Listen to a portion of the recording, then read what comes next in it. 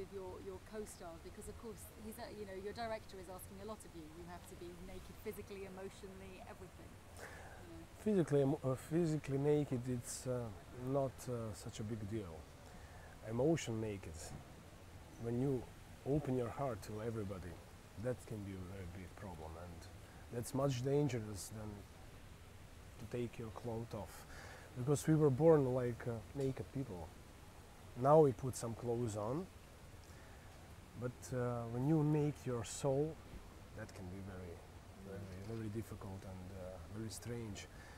And of course, uh, you must have good chemistry with uh, your partner during the shooting, but only professional way because uh, sometimes uh, it's like in your life. You go to the another wrong direction and there's no coming back.